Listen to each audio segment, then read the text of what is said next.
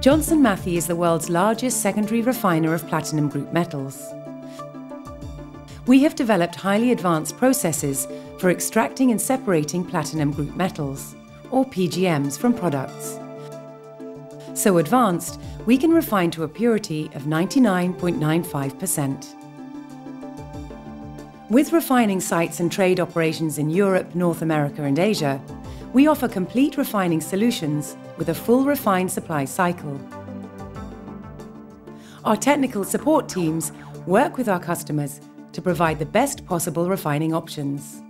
As well as being the world's largest recycler of PGMs, we're one of the only companies able to undertake full seven metal separation, helping you to recover platinum, palladium, rhodium, iridium, ruthenium, silver, and gold. We process a wide range of feeds, from spent process catalysts and auto catalyst scrap to secondary mine residues and jewellery products. And with our precious metal management support, we offer a completely tailored service to help mitigate risk in volatile markets. Refining is a highly complex process which requires a deep understanding of material science, pyrometallurgy, multi-stage chemical separations, and analytical science. Our process involves four steps evaluation, smelting, chemical leaching, and chemical separation. Evaluation is a critical stage in our PGM refining process. During this step, we determine the material's PGM content and agree with the customer the quantity or value of PGM we will return to them, as well as establishing the lead time. Material tracking is crucial. All customer batches are uniquely barcoded to ensure full traceability during evaluation. We're able to process bulk material to generate a representative homogeneous sample, from which we can accurately determine the PGM content through assaying. Metallic feeds undergo multiple meltings to evenly distribute their constituents, and a small sample is produced for a laboratory assay. For other customer feeds, generally in a powder form, the PGMs and other components may not be evenly dispersed across the whole batch, and the material may not be of equal particle size. Therefore, during evaluation, we grind the material first to reduce and equilibrate the particle size, and then blend it to produce a homogeneous dispersion of components, from which we can take a sample for assaying. In this way, our assay will yield a true representation of the bulk material. Spent process catalyst feeds are thermally treated to remove any residual organic solvents before moving to the grinding and blending steps.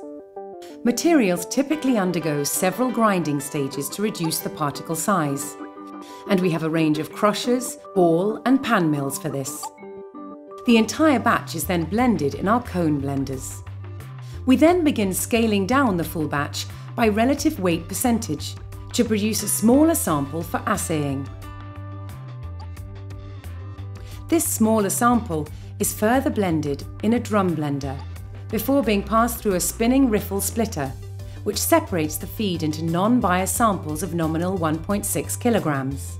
One of these samples is then sieved, ground to a finer particle size, blended and separated once more into 16 smaller samples, three of which are assayed in our laboratories.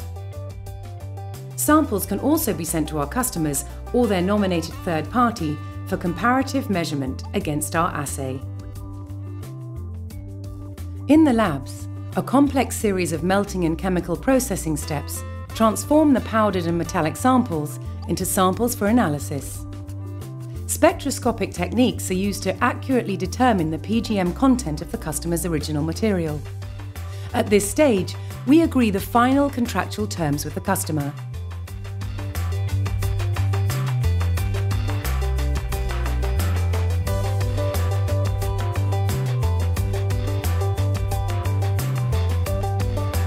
Once terms are agreed, feeds are no longer handled on a customer by customer basis, but are combined into larger batches for smelting.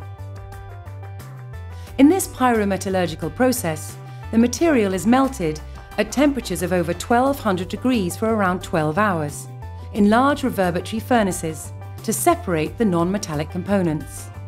At the end of a smelting cycle, the furnace is tapped and the non-metallic slag portion is sampled and poured off first. The PGM containing portion is then collected and a sample is analysed to check the PGM concentration. This PGM bullion undergoes additional processing in our smaller furnaces to further concentrate the PGMs prior to chemical leaching. Two types of bullion feed are produced. A silver-based feed containing primarily platinum and palladium, with trace amounts of rhodium, iridium and ruthenium, and an iron-based feed which contains all five of the PGMs.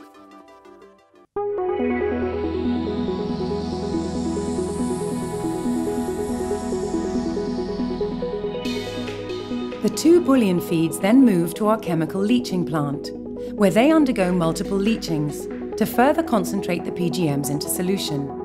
The silver-based bullion is suspended in concentrated acid to slowly leach the silver, platinum and palladium into solution and separate out any gold which is sent for further refining.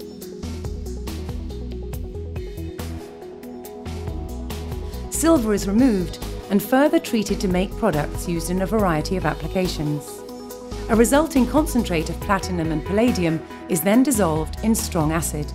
The iron-based bullion is also acid leached, but follows a different chemical treatment route, given the different solubilities of the five PGMs that it contains. At this stage, we have the two distinct liquid feeds, which both pass to the final refining step, chemical separation.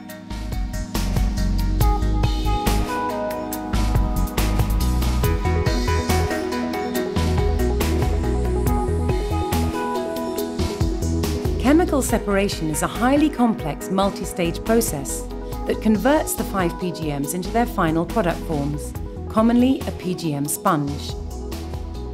It involves a series of solvent extraction, evaporation, dissolution, precipitation and filtration steps to produce highly pure organometallic salts of each PGM.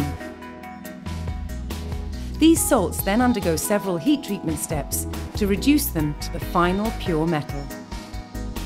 We pride ourselves on our ability to refine the full suite of precious metals from a wide variety of customer feeds, containing a range of PGM concentrations. As a result, following evaluation, customer material may be introduced into the refining cycle at various stages, and feeds are continually recirculated to ensure we deliver the very highest levels of PGM separation.